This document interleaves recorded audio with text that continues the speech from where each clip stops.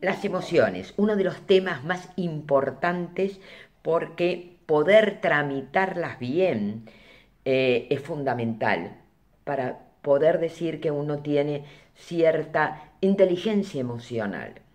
Ahora, ¿qué son? Son las reacciones psicofísicas ante la realidad, esa realidad que nosotros leemos a través de las creencias.